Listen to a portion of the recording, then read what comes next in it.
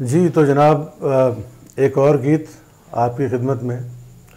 1981 में एक फ़िल्म बनी थी, रॉकी के नाम से, जिसका म्यूज़िक दिया था रोहल देव बर्मन, यानी आर डी बर्मन साहब ने।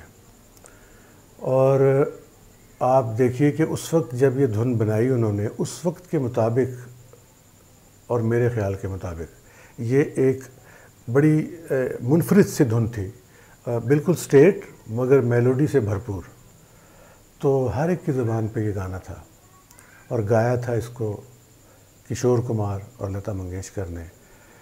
क्या यही प्यार है? तो आइए सुनते हैं।